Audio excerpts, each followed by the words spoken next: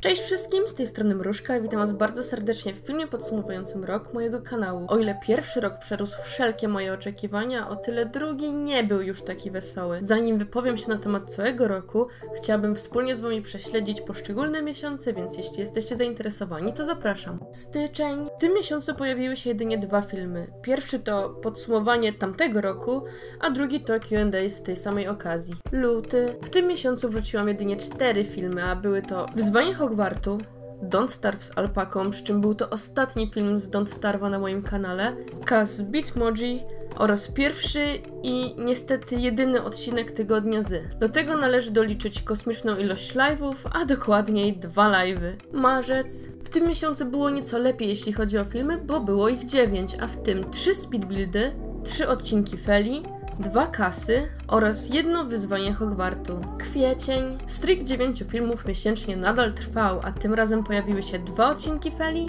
trzy speedbuildy, kas, jeden odcinek wyzwania Hogwartu, moja ewolucja budowania oraz pierwszy odcinek wampirzej historii miłosnej. Maj. Maj to miesiąc obfitości, ponieważ pojawiło się nie 9, a 10 filmów. Szaleństwo! A w tym dwa odcinki Feli, w tym jeden z nową, szałową miniaturką, trzy odcinki wampirzej historii miłosnej i niestety więcej żaden się już nie pojawił, trzy speedbuildy, jeden kas oraz nowość na moim kanale będąca jednocześnie próbą mojej kreatywności, a raczej cierpliwości, czyli Speed Edit.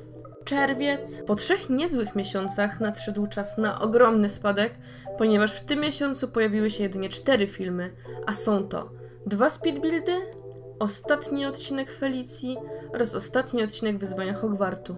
Lipiec. W tym miesiącu było jeszcze gorzej, bo pojawiły się jedynie trzy filmy, a były to dwa odcinki House Flippera, przy czym na tych dwóch odcinkach ta seria się skończyła. Pojawił się również film odnośnie zakończenia serii z Felą oraz wyzwania Hogwartu. W połowie lipca mój komputer niestety zakończył swoją egzystencję. Sierpień. Dopiero pod koniec sierpnia otrząsnęłam się z żałoby, a pomógł mi w tym nowy komputer. Nie było już zbyt wiele czasu, bo miesiąc już się kończył, więc pojawił się jeden film, a był to Speed Build. Jednak było coś jeszcze. Pierwszy live po wielu miesiącach ciszy. Brzmi spoko, ale czy na pewno? Wrzesień. Wtedy doszłam do wniosku, że już mam dość braku regularności, ale nie byłam w stanie tego zmienić. Nowy komp fakt ułatwiał mi pracę, ale oprócz zaległości na kanale pojawiło się też mnóstwo zaległości w moim życiu prywatnym, a przede wszystkim w pracy. Wtedy poinformowałam Was, że czas na przerwę, w której spróbuję wszystko ogarnąć i dam sobie ostatnią szansę z kanałem. Październik i listopad. W tych miesiącach na kanale była cisza. Mimo to dużo pracowałam, by mieć trochę filmów, by nie zawalić po raz kolejny, by załatwić prywatne sprawy i by w końcu wyjść z tym wszystkim na prostą. Próbowałam nagrać jakiś speed build. Nie szło. Próbowałam wymyślić jakąś nową serię. Nic nie przychodziło mi do głowy. Może jakieś nowe simsowe wyzwanie? Pomysłów brak. Coraz częściej myślałam, że już się wypaliłam, że nic nie dam rady nagrać, że czas dać sobie spokój. Z czasem popadłam wręcz w neurotyzm, bo z jednej strony myśl o kanale mnie dobijała, czułam, że marnuję czas, że mogłabym się teraz bardziej zająć pracą, przecież jestem dorosła, przecież to jest teraz takie ważne. A z drugiej strony nie byłam w stanie powiedzieć, no okej, okay, to zamykam kanał. Bo mimo iż nagrywanie pochłaniało mnóstwo mojego czasu, to cieszyło mnie to, dawało mi satysfakcję i poczucie, że coś robię dobrze, więc nie mogłam tego zmarnować. Grudzień. 13 grudnia był mój wielki powrót. No może nie taki wielki, ale dla mnie samej wiele znaczył. W tym miesiącu pojawiło się 10 filmów, a były to 4 speedbuildy, świąteczna mini machinima, Kas oraz moja nowa ukochana seria, czyli Cynthia, a dokładniej 4 odcinki Cynthii. Styczeń 2019. Na ten moment na kanale pojawiło się 13 filmów, licząc ten, który właśnie oglądacie. Tak więc jest to rekord tego roku, a miesiąc przecież jeszcze się nie skończył. Filmy pojawiają się regularnie, co dwa dni i przyznam szczerze, że mimo jednego dnia odstępu czasem i tak nie jest mi łatwo, ale trzymam się dziarsko mojego postanowienia. Tak dla formalności wspomnę, co się w tym miesiącu pojawiło. 6 odcinków Cinti, 3 speedbuildy, dom na odwrót, speed edit, pierwszy odcinek Kasa z widzami oraz ten film, który teraz oglądacie. A teraz kilka informacji na temat tego roku. W sumie w tym roku pojawiły się 64 filmy, nie licząc tego, i aż 4 live'y. Czas trwania wszystkich filmów tego roku to w przybliżeniu 1150 minut. A teraz może parę słów ode mnie. Mimo że w tym roku nie wydarzyło się, jak zresztą sami widzicie, nic szczególnego, to czułam wewnętrzną potrzebę właśnie tego, żeby, żeby to nagrać, żeby o tym wspomnieć, bo, bo jakby mam takie poczucie, a przynajmniej miałam takie poczucie, że nagranie tego filmu pozwoli mi oddzielić grubą krechą ten właśnie nieprzyjemny dla mojego kanału i też dla mnie samej okres. Bo podsumowałam sobie to wszystko, widzę, że na końcu jest dobrze i, i widzę, że, że, to mi, że to mnie cieszy, że czuję się lepiej, że nie mam takiego poczucia, że, że coś mi przelatuje. Wiecie o co chodzi. I właśnie dlatego chciałam nagrać ten film. Troszeczkę może taki autodis, chociaż nie do końca o to mi chodziło, bo wiecie o co chodzi? Bo dużo w tym winy jest mojej, nie mogę sobie tego ująć, choć wiadomo, chciałabym, ale też sporo niepowodzeń na tym kanale bierze się po prostu z losowych przypadków. Ja już o tym mówiłam po powrocie, ale no tak jeszcze wspomnę, że właśnie i ten komputer, i znowu miałam zapalenie okostnej na początku zeszłego roku. I no nawet nie chcę za dużo wspominać, bo wiecie, dużo prywatnych spraw. I to wszystko się nałożyło właśnie na to, ale też, prawdę mówiąc, dużo takiego jakiegoś. Wiecie, ten wcześniejszy rok to było tak, że ja potrafiłam wrzucać dwa filmy dziennie i to też wcale nie było dobre. W sensie bardzo mechanicznie już do tego podchodziłam. Na takiej zasadzie, że trzeba nagrać filmy. Im więcej filmów, tym lepiej filmów. A potem na początku tego drugiego roku w moim umyśle narodził się taki bunt.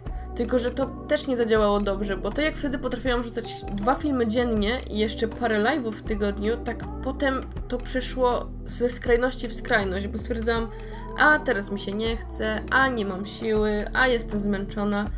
I oczywiście to jest dla mnie pasja, tylko pasja, no nie oszukujmy się. Tylko jest to dla mnie jakaś forma rozrywki, no bo nie zarabiam na tym i jakby mogłabym ten czas spożytkować na coś innego, co przyniosłoby mi zarobek, więc jeśli tego nie robię, to, to mogę powiedzieć, że robię to z pasji, prawda?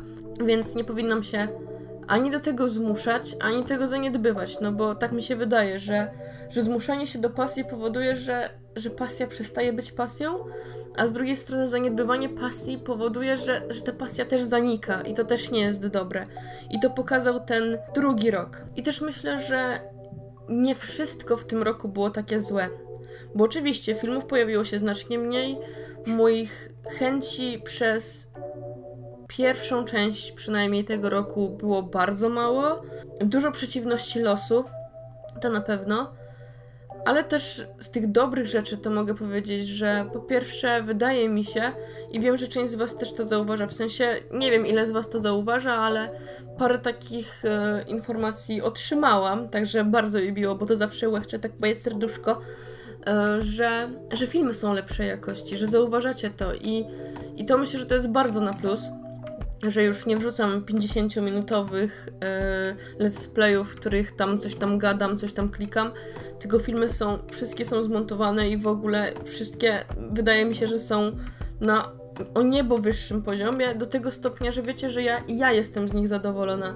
Więc jeśli ja jestem z nich zadowolona, to już mi więcej nie brakuje do szczęścia. W sensie wiecie o co chodzi. To ja mam być dumna z mojego dzieła. To, to jest raczej logiczne. Po drugie, e, pojawiło się więcej kasów w tym roku niż w zeszłym roku. I myślę, że to jest spoko, bo to jest spoko i dla mnie, i dla Was. Także myślę, że to jest ok.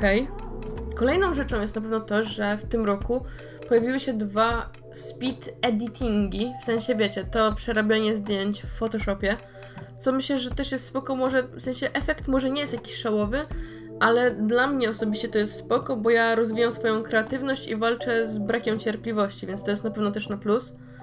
Ale największym plusem tego roku jest to, że na przełomie listopada i grudnia zdałam sobie sprawę, jak bardzo ten kanał jest dla mnie ważny.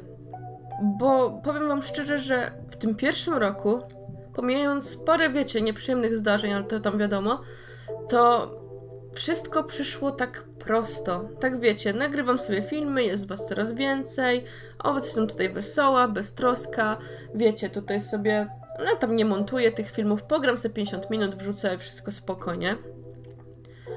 A w tym drugim roku odczułam, jak bardzo dla mnie jest ważne, żeby to było dobre i jak bardzo sam ten kanał jest dla mnie ważny. W sensie W tym drugim roku mogę, mogę już z całą pewnością powiedzieć, że zetknęłam się z wieloma przeciwnościami i z wieloma minusami prowadzenia kanału, w sensie w moim przypadku, nie?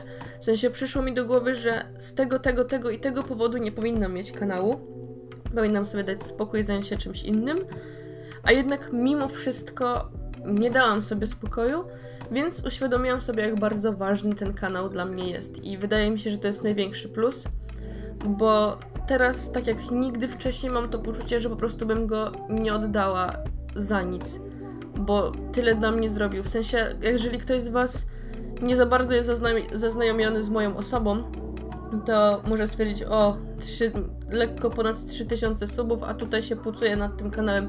To nie chodzi o to, chodzi o to, ile posiadanie kanału dało mi w moim życiu prywatnym i pomogło mi mojej osobie. O, o to chodzi po prostu. I myślę, że to tyle, żeby ten film nie był za długi. Także bardzo Wam dziękuję za uwagę. Jeszcze tak organizacyjnie dajcie znać, które serie, te, które były, wspominacie najlepiej.